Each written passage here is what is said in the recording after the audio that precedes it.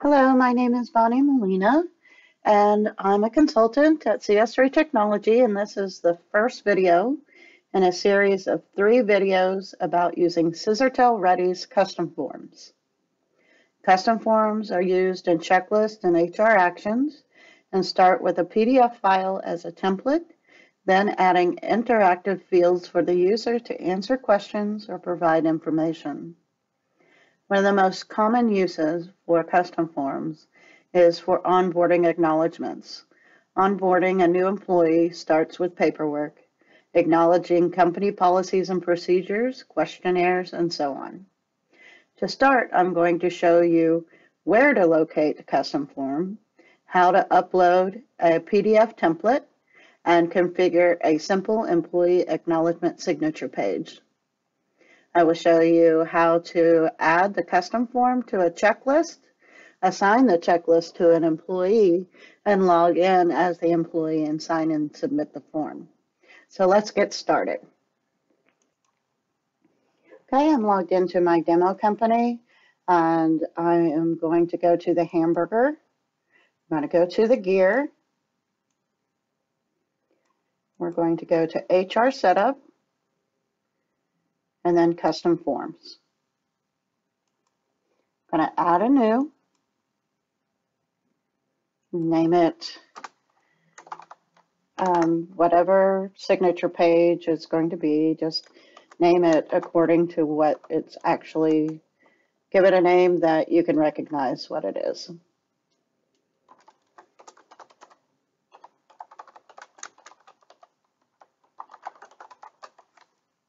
Going to hit save. I'm going to add a new page. And I'm going to hit save. Then I'm going to click on the pencil to go into edit mode. We're going to choose a file to upload.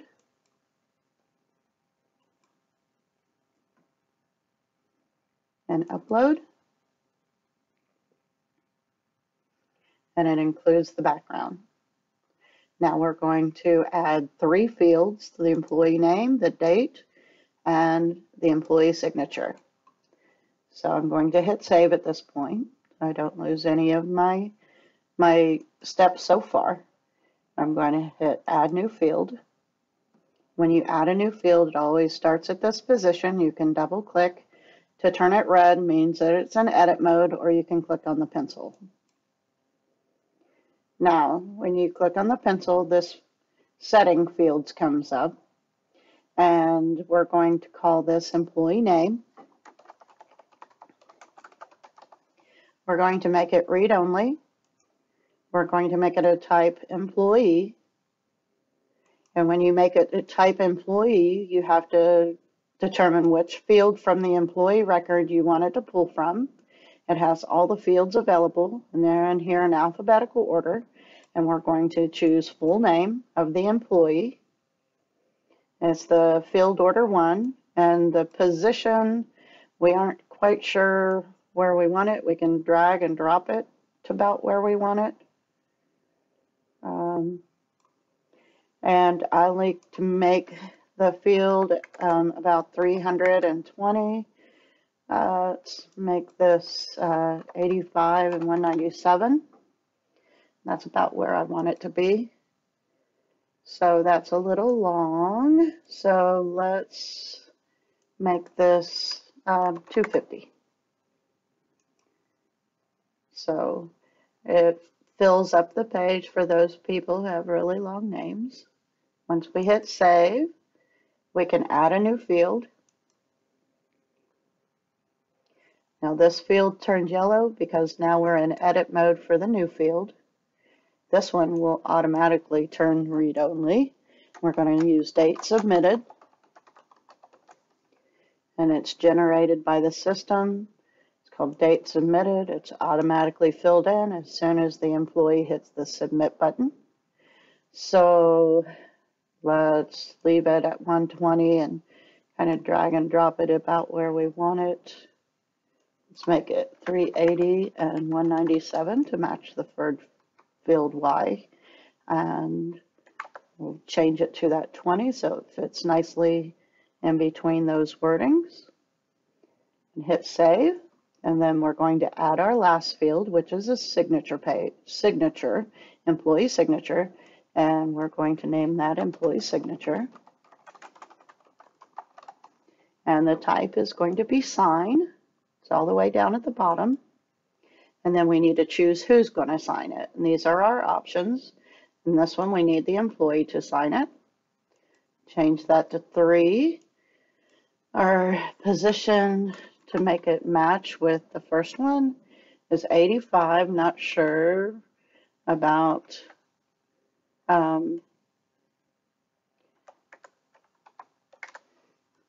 about where we want it to be and so let's make this 250 and then we'll just drag it and drop it to about where we want it to be. Yeah, that's about right. Let's just make that a whole number.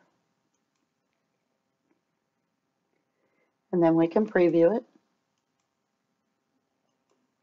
This is what it looks like. Now there's a couple things that we need to do to get this ready to be used. First of all, we need to give the employee uh, security rights, but before we do that, we need to back up to this first page where none of the fields are checked and we need to give it something that the employee is signing against. They're going to sign against their employee name and the date submitted. They're going to, that's what they're verifying, that they actually read the information that the signature page is for. We're going to hit save. And then we're going to go into security. Now I showed you how to get to the location going through the menu, but you can also type what you want to look for here. And we're going to give the permissions for the employee to look at this in my custom forms. And we're going to give them the ability to view and edit. And we're going to hit save. And now we're going to assign that custom form to a checklist item. So I'm going to go into the, my hamburger and type in checklist. And we want to be in HR setup checklist. And we're going to add it to the new employee checklist. So we click on the pencil. And I'm just going to change out this custom form that I have in here. Um, I've already set this up and we just need to choose the custom form. And we're going to make it three days after the employee started. And the person to complete it is the employee. And confirmation required means that they need to sign it again after they submit it. They send a notification after submission to whoever we have designed to receive the HR notifications, which is most likely the HR manager. And we allow updates manually. We usually do not allow that. And send a reminder notification that it's due to the employee. So I go ahead and check that. And then I hit save.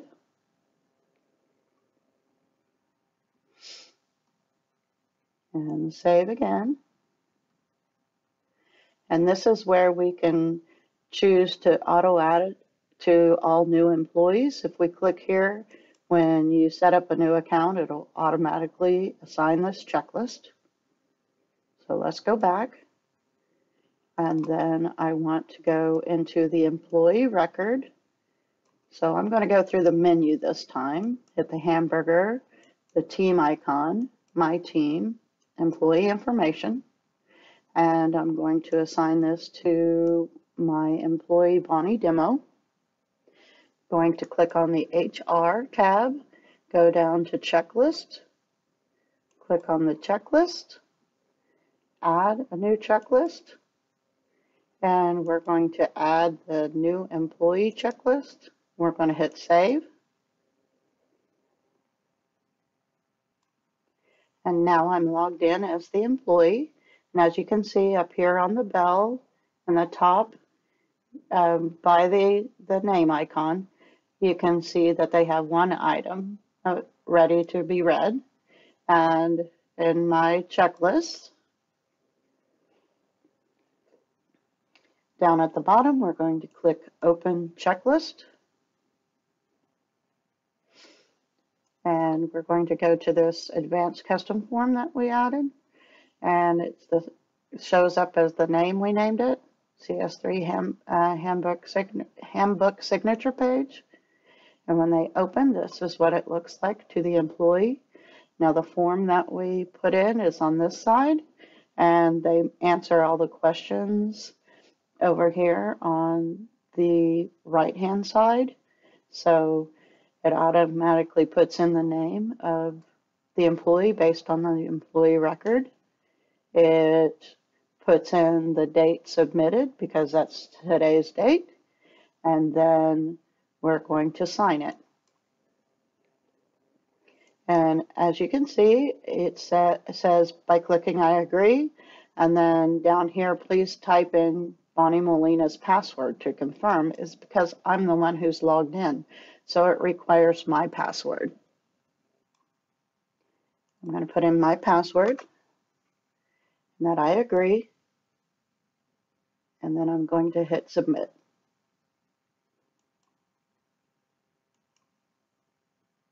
And okay.